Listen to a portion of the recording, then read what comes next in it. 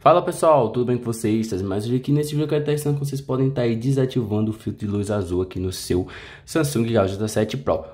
O filtro, de luz azul ajuda você a estar dormindo melhor, certo? Além de estar protegendo vocês do, dos raios azuis que saem aí dos aparelhos como notebook, tablet, celular, que você utiliza que pode estar machucando aí, até mesmo causando problemas de vista. Então, vou estar ensinando como vocês podem estar desativando essa função, certo? Então vamos lá, é bem simples. Primeiramente você vai estar acessando suas configurações, e vai estar tá vindo aqui em Visor. Chegando aqui em Visor, você vai estar tá desativando aqui, ó.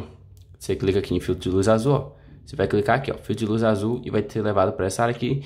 E para desativar, você só, você só vai estar tá clicando aqui. Lembrando que é como eu disse, essa função ajuda a você dormir melhor à noite e além disso também ajuda aí a proteger você dos raios de luz azul. Caso você queira desativar, é bem simples, você vai clicar aqui, pronto, você desativou, certo? Mas tenha é, tenha isso na cabeça que isso aqui ajuda mais do que atrapalha. Mas hoje é basicamente isso, eu vou deixando ele por aqui. Não esquece de deixar aquele like para dar a gente do canal.